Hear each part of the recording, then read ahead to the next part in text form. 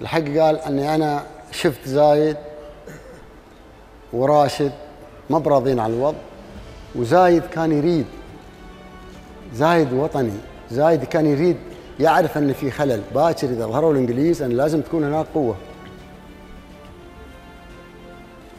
أظن كان الجدول يا أخوان يا شيوخ خبروا أهاليكم. أن إذا شافوا إنجليزي ماشي على الشارع يخوزون عنه. إذا شافوه على البحر يعني يرحبوا به يمكن. المهم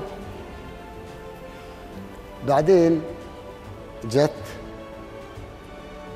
68 1968 بالطبع كان راشد وزايد يعرفون إن الإنجليز بيظهرون قبل إعلانهم الرسمي.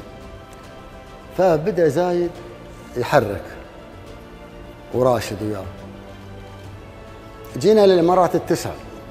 وزايد طموحه وأنا بقول لكم بعدين ليش. زايد طموحه أن تكون آه، أكثر تجمع. وفي التجمع قوة. وصرنا نجتمع.